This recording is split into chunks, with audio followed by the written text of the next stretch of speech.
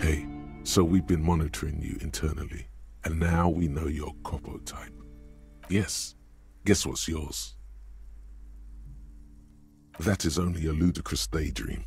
Guess again. You're the... No, you're the sorry cop. The cop who's sorriest.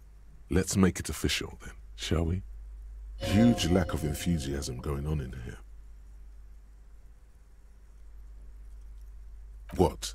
Jealous of the sorry cop? I think they'll be fine. Don't. They'll be super, super fine. It'll be totally okay. You can dual copotype from sorry to anything. Of course you are.